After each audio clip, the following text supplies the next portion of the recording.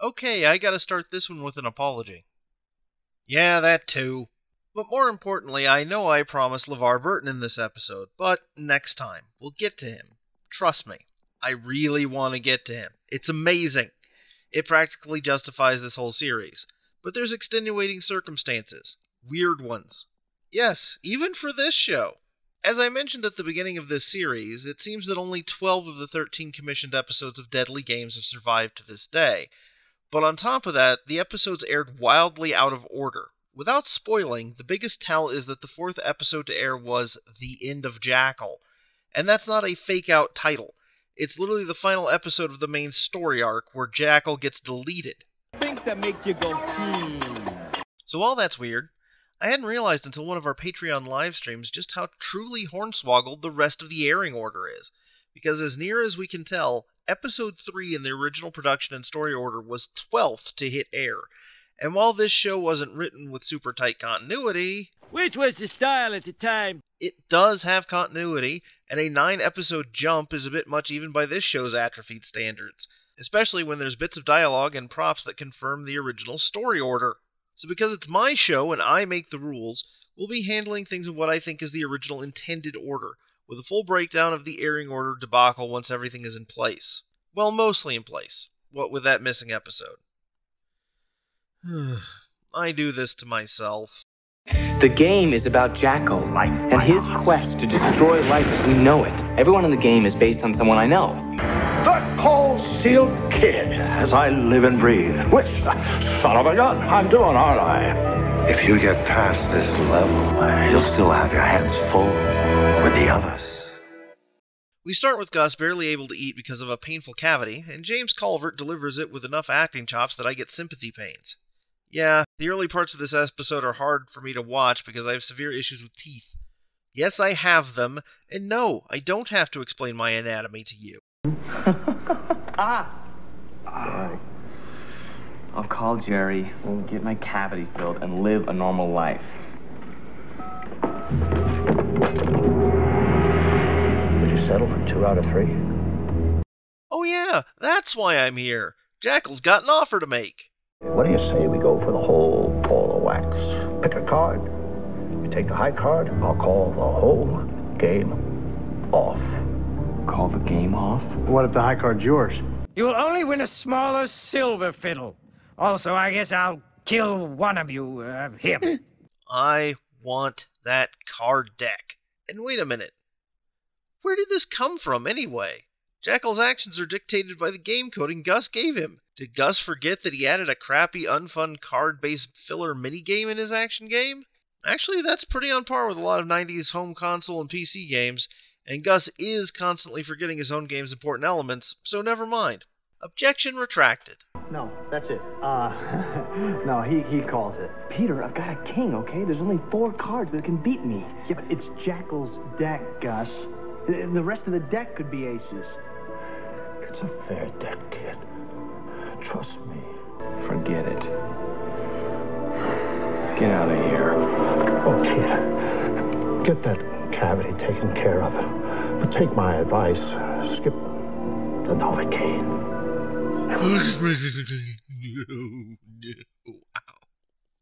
No, no. And now the kill counter is on both their heads. Yeah, we're getting to that. Character actor Stuart Pankin takes a break from being Earl Sinclair on Dinosaurs to chew scenery and donuts as a charming dentist with a sweet tooth. Man, it seems like every bit player on this show has more credits on their IMDb page than our three main heroes put together. And now we meet the episode's guest boss, Dr. Kramer. He's played by Christopher Neame. Neeme? Neeme? Hmm, Oh well. A British actor who's been Kaiser Wilhelm, Romeo Montague, and three unrelated characters on MacGyver. He was on the British TV series Colditz, and despite what you're about to see, he apparently never played a Nazi. Are you aware that your lower incisors are uniformly discolored? No fillings. Closed. A supply of nitrous oxide. Where is that get? By the way, the receptionist is dead Ola.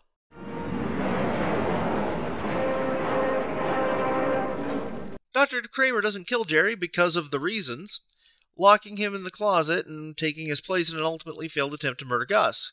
Can you guess his non lethal weakness?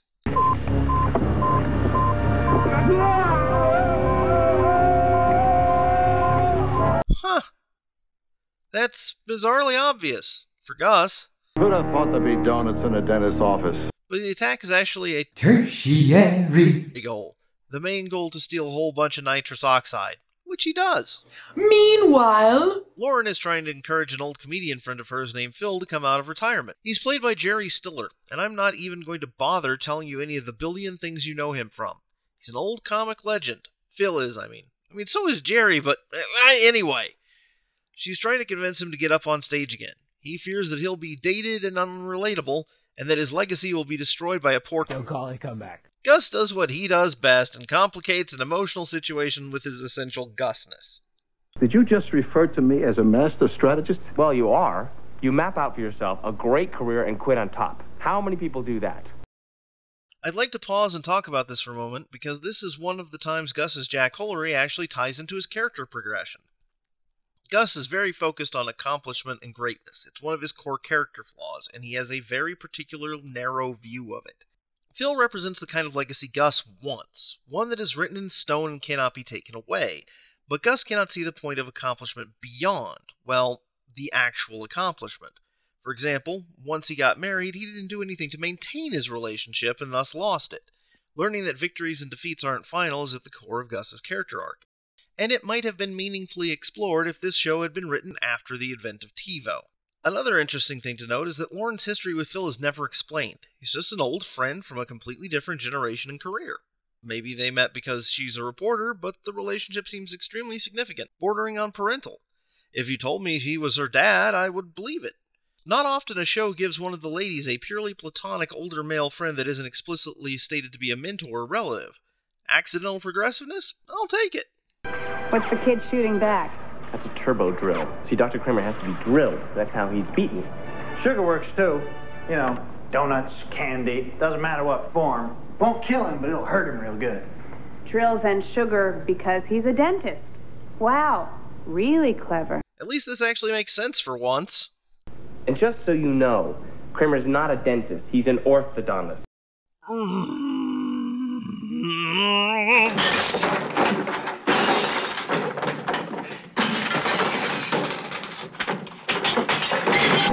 An orthodontist, though? Orthodontists don't drill or use Novocaine. Afraid she makes a worthy point, my friend. It was an early level, all right? I was experimenting. I just knew that teeth would play a major role.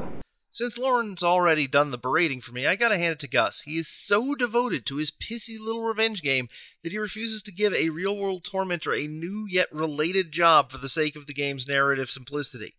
You know, when X Men 3 came out, Gus had a lengthy rant on his WordPress blog about how the Juggernaut wasn't a mutant in the comics. So Gus programmed Dr. Kramer to try and kill a famous comedian in order to destroy laughter. Gus has issues. How can he do that anyway? How can Kramer destroy laughter? Those tanks of nitrous oxide he stole from Jerry. Nitrous oxide is an anesthesia. It's also known as laughing gas. I know what laughing gas is, Gus. Tell me why he stole it. He's going to modify the night side air conditioning system and pump the gas into the studio. And that's bad, right? Extremely bad. See, in large doses, nitrous oxide takes the place of oxygen in the blood cells. These people would literally laugh themselves to death. Really? Uh, yeah. Jim? Sorry about the interruptus here, but this bit is kinda sorta accurate. Just not in the way they meant. Nitrous oxide is dangerous for secondhand breathers, which can pose a hazard for employees in dentist offices with poor circulation. Pumping it intentionally into a sealed room full of people probably would kill them all, but through normal type lack of oxygen asphyxiation. It doesn't actually make people laugh uncontrollably, just more relaxed and desensitized to pain, with the occasional euphoric episode. Thus its reputation as laughing gas. So they're only half right here. Huh, informative. Better than their usual ratio. And why do you know that? Nothing. Okay then, let's get to the filler bit of the episode, both in terms of runtime and that Jackal and Kramer are after silver fillings to use them as solder for the nitrous device. Yeah, that's a pretty limp justification for what boils down to a fetch quest, but at least it's thematic. So what's their first stop? A kid's birthday party, of course. Wait, what? Mommy, when's Barney coming? Oh, apologies, young man, but Barney was unable to join us today. But in his place, however, we present Dr. Kramer, the funny orthodontist. Well, that's one way to avoid paying a licensing fee to PBS. Any rate, the most easily entertained and forgiving disappointed children in history are spared torture only because one of the parents has a bunch of fillings to steal. Open.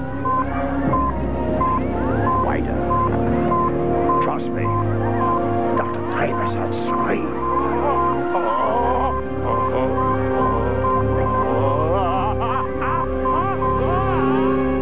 Okay, that was effectively dark. On the way, Gus lamely justifies this week's grudge by claiming that his dental headgear made him unpopular, while throwing shade at Lauren for not being a bitter sniveling shit in school. We all had something, Gus. I was flat chest until the 10th grade. But you don't hear me going on whining about Donna Caruso, the slut. How she pulled the Kleenex out of my bra right in front of Robbie McIntyre. Hey Gus, the fact that you don't know this about the woman you married is reason 4622 that that marriage failed. I swear, if he's hurting any of these kids, I'm gonna throw myself in front of a bus. Let me tell you something, Gus. You can croak any way you choose when this thing is all done, but until then, don't you dare leave me alone. Well, that's an effective way to put the kibosh on the whole refuse to call part of the hero's journey. Gus and Lauren use the excuse that they're reporters to get in and ask questions. Since Lauren is herself a reporter, you'd think they'd do this every episode. This would be a bit more forgivable if this was meant to be episode 12, and that they'd actually realize that they could have made their lives a lot easier all this time. But not so much when it's done in episode 3 and never done again. Daddy, can you wiggle and scream so the rabbit can see? I just wanted to share that moment with you. In fact, let's see it again. Daddy, can you wiggle and scream so the rabbit can see? Ah, Beautiful. Kramer's short two fillings, so we get a scene of Gus explaining his moon logic game design that leads to a sequence in a movie theater because I guess they had access to that set that week. Also, you can tell this was shot in a different era, given Gus is casually walking around in public with a goddamn crossbow. It was a little dash hound. Ah. Excuse me, could you please remove your hat? No. I can't tell you how hard it is not to just make these videos a montage of Christopher Lloyd being wonderful. You're getting cocky, kid. That's been a problem for you in the past. And he's gonna fall right now. Pretty nifty, don't you think? It's a hologram. I forgot about the hologram. How could you forget about the hologram? There are 30,000 different directives in this game. I can't remember all of them. Do you not keep documentation? Geez, we keep lists for our running gags, and we're an E-list YouTube series. Kramer and Jackal escape, having obtained the fillings from the projectionist, so Gus tries to get the Target's live show for the night cancelled, which really isn't super clear, but honestly, it's the least of this episode's problems. He attends a comedian audition with the producer, which is weird since you think the lineup would already be set by now, leading to a belabored explaining the premise of the show scene that's supposed to be character building, I think. It goes about as well as you expect.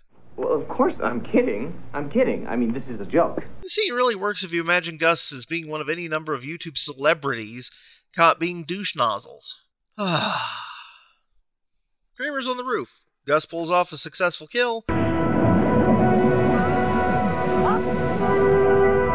it, We did it, Gus!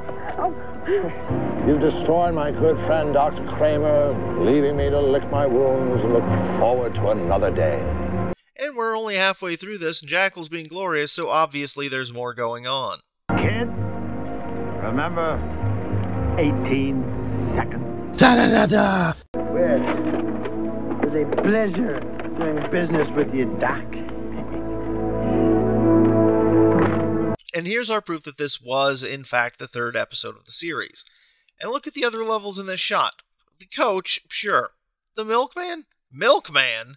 That profession was obsolete decades prior to this game. Wait, is Gus that kid from the Measuring Man short? That was made in 1970. Gus is seemingly in his early 30s in 1995, and that would explain a lot. And then look at the bottom there. Level 93? Sweet genius! Nixon's enemy list wasn't this extensive. And why aren't those tapes in level order? And yes, I'm ignoring for the moment the blatantly obvious.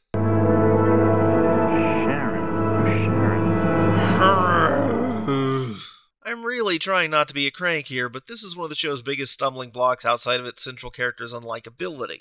Namely, the fact that our heroes are completely reactive in a situation where they actually have a literal game plan.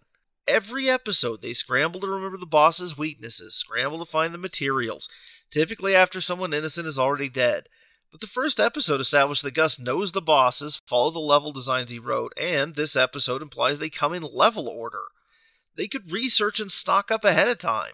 Having our heroes be so damn clueless as to their own game's mechanics until maximum drama is just pointless. And it's unnecessary. The show has already established that Jackal has a degree of sideways thinking, and while he has to follow the plan of the level, he can employ wordplay to change things up and keep them guessing. The kitchen can also be the boiler room. This level is all about that kind of misdirection. We don't need the heroes to be so wholly ill prepared. It doesn't make Jackal look better when his opponents are incredibly inept. Because, for me to benefit, we all have to sacrifice. Of course, when I say we, I'm not actually referring to myself. What did Jackal mean when he said that? That 18 seconds? Ah, he's just playing mind games with me. Well, what did he mean? I wrestled in junior high school. At one point, I was undefeated and probably pretty obnoxious about it. When I met Paul the Wall McMyers, it took all of 18 seconds to fold me in half. The worst part was my father in the bleachers cheering against me. Well, apparently, Paul the Wall deserved to win because he put the effort in it. While I, on the other hand, was and always would be an underachiever. You never met my father. I suppose he has his good points. Yeah, this is actually important, like to the whole series. More on that later in the production order. Yep, the real target is Phil's comedy night. Jackal sabotages the AC, and only after Lauren spots Jacqueline makes a call does Peter, who's supposed to be the smart one, think, hey, maybe that tape I saw before is relevant. Who's Sharon? When I programmed the Kramer level, I gave him a partner. Except for the dress, they're identical programs. That's why I ended up dropping her. But if you dropped her, how come she's still in the game? She was a backup file. She must have crossed over in the accident like all the others. Jackal let us be Kramer. He knew I'd forgotten about Sharon. Not to take anything away from Jackal, but I don't think he had to explicitly know that. So far, it's been demonstrably safe to merely guess that you forgot major details about your elaborate revenge masturbation game.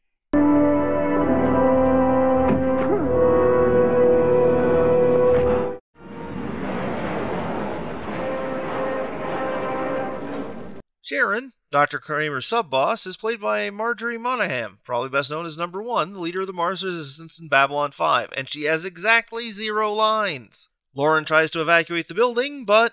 I know what you're thinking. Normally, I'm all for a rousing false alarm, but not tonight. Pretty sure this isn't breaking the rules of the game. Jackal can't interfere directly with the kid, and Lauren is technically an NPC, so fair game. We get another scene of Gus failing to get anyone to take the premise of the show seriously. You're gonna need a power drill just to stop her. Let's go. Or at the very least, some kind of processed sugar product. We'll get right on it, sir. And another person is killed. Hey, what are you doing? Look out! Hey!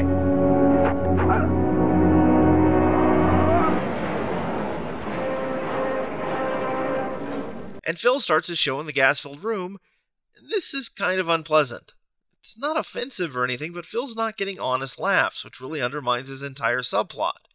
Even if you use the more accurate idea that the audience is just kind of doped up, they're more susceptible to laugh at anything, funny or not.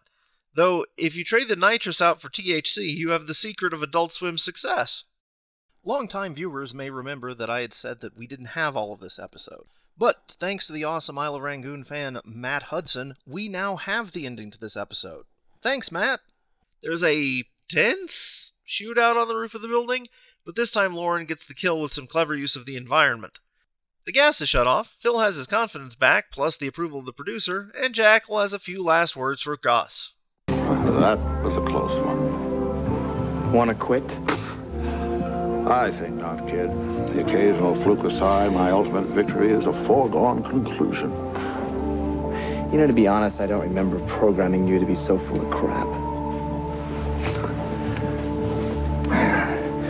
You know, sometimes, kid, I wonder if you know Why, you programmed me. Da da da da!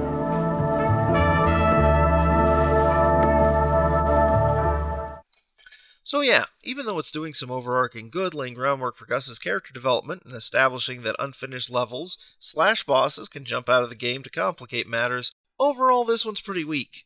And that's viewing it in its intended order. When taken in the original airing order, the small steps forward in Gus's characterization become huge leaps backwards. I don't tolerate insubordination, mister. Not now, not ever. You're fired. Oh yeah, that's the stuff.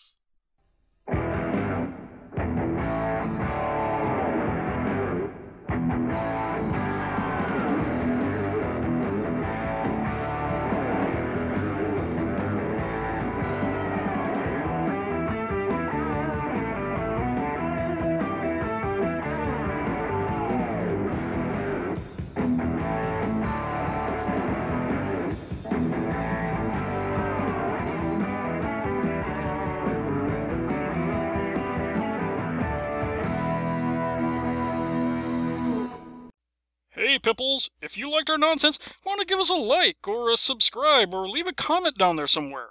You can also do us a big solid by joining our Patreon, where you'll get to join us for live streams, get early access to the newest videos, and other such things.